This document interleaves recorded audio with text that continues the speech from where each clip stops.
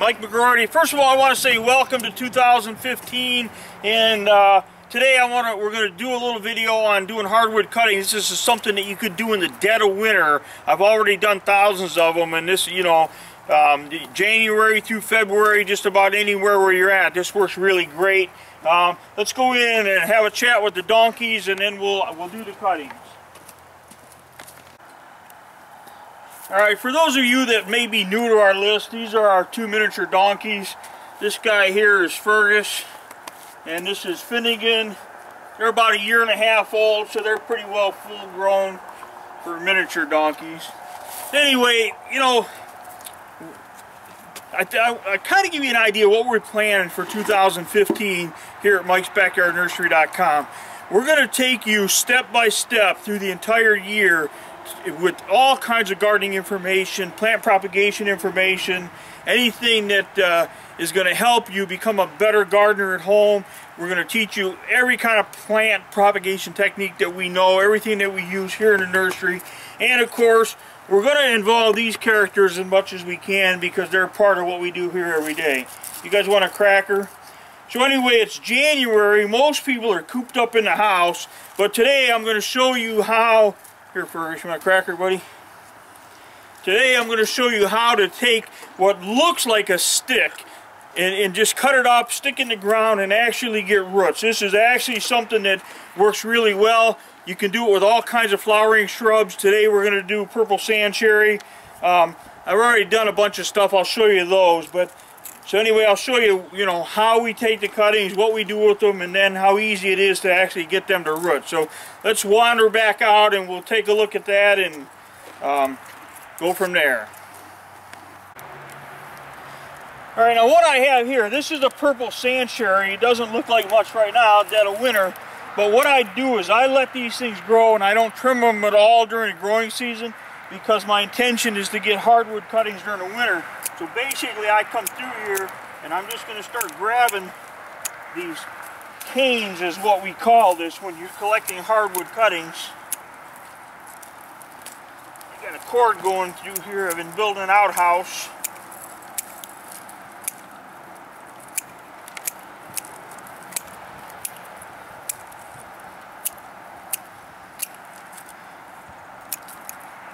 As you can see I've cut that thing down to pretty much a stump, but this is all new growth from one year. So that next year, what that thing's gonna do is it's gonna flush out and put actually put on more canes than it had this year. So if you look at this particular plant, you'll see we cut it last year. It was cut here and here, and then it put on all this new growth from down below. So um, this really forces them to get nice and full. So let's go inside, we'll make a few cuttings, and then I'll show you what to do with them.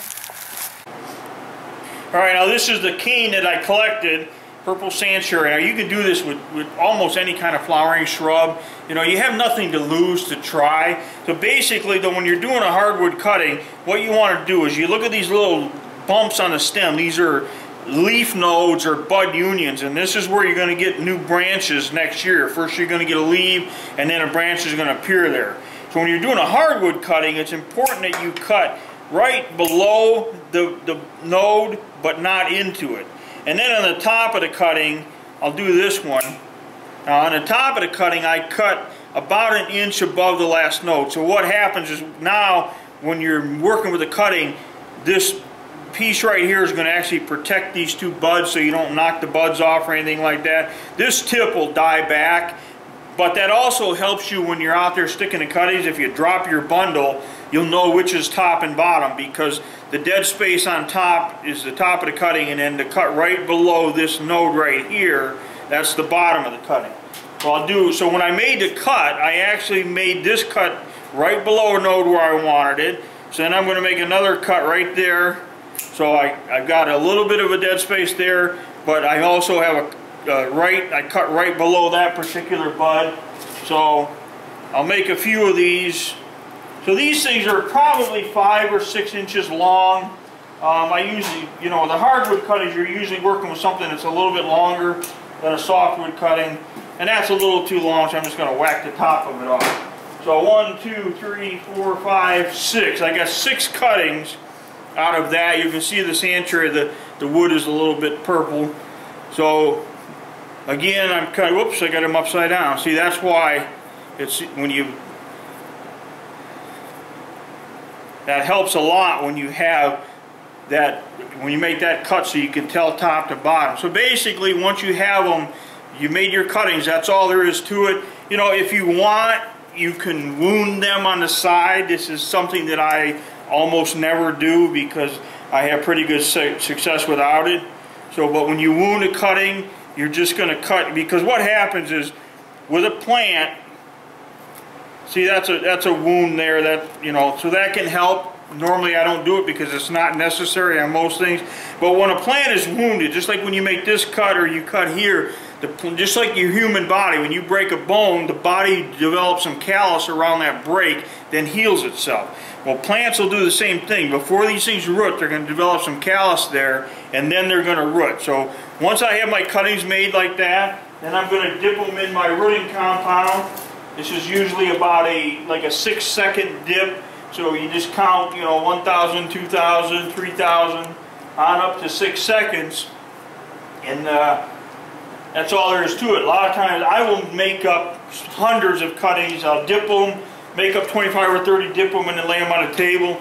Rooting compound, you, you, don't have to have it. Chances are you'll have success without it. All it really does is, in, is it, it enhances, increases your chances of success. So this is Dip and Grow. The brand doesn't matter. It doesn't really matter whether you use a, a liquid or a powder. They all work. Many cuttings will root without it. So you know, don't get caught up in details. Many times I've done hardwood cuttings with no rooting compound at all. Simply made my cuttings like that. Now, to stick these cuttings, all I'm going to do is take them outside. I'm going to stick them in the sand. I have a bed of sand out there, but I, you can stick them. You can just make a slice in the ground and stick them right in your uh, in your garden. You can make that um, plant them about that far apart. Or you can, you know, I put them in containers. Let's go outside and I'll show you. Alright, now to stick your cuttings, all you have to do, and actually this sand is a little bit frozen, but not enough to be concerned about.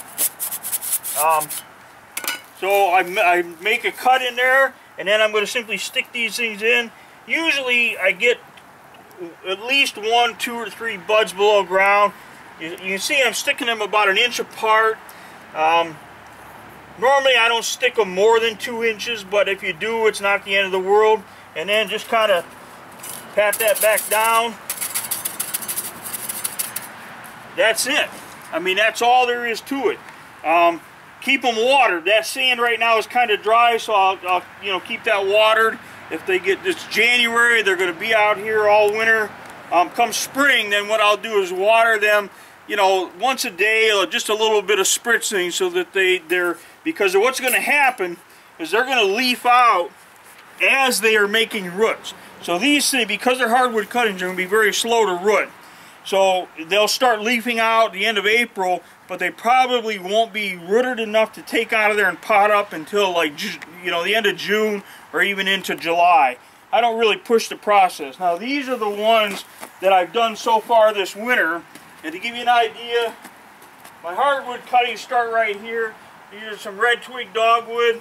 This is Annabelle hydrangea. Uh, there's some weeping pussy willow. There's dappled willow in here, blushing bride, uh, Rose of Sharon, some more sand cherry, uh, ruby Rosa Sharon, more sand cherry, double red Rosa Sharon. So you can see I did a bunch of things in there. Now over here I'll show you the, some of the ones that we did last winter. Last winter, um, we did, these are grape cuttings. You can do grapes the same way. That's some Lynwood Gold for Forsythia back there. There's two different kinds of willows right here. This is, uh, these are Golden Curls willow. Uh, you can see how much these, this is the cutting. So they put on probably 8 or 10 inches of growth. And actually, I've already trimmed these during the summer. I went through here and cut the tops off on some of these because they were getting a little bit too tall. So what I, when I cut them, that forced them to break more buds. We didn't pot these up because we just didn't have the room. We, we had so many, so these things have been in these containers for just about 12 months now. So this is just a flat. Last year we did them in potting soil. We did a bunch of them in plastic containers like this. We used potting soil because that was the only thing that we could get our hands on last winter that wasn't frozen solid. So again, uh, and you can see I don't I don't offer them any special protection. I mean, last winter was 15 below. This year it's been, we've had some pretty mild weather. It got down to about 10 or 15 degrees, you know, the last couple days at night. But these uh, Golden Curls Willow, as soon as spring breaks, we're going to pot these things up and get them out, you know, ready to sell. So it's an easy process. Uh, you can do it with evergreens. It's a slow process, but like I told you, we're gonna we're gonna kind of give you a play-by-play -play as the year goes on and we're going to show you all kinds of different ways to propagate plants, so kind of hang in there with us. We've got a lot of stuff planned for 2015, and you know, I appreciate you being on the list, and I'm wishing you the, the absolute best for this coming year. So, I'm Mike McGroarty from Mike's Backyard Nursery.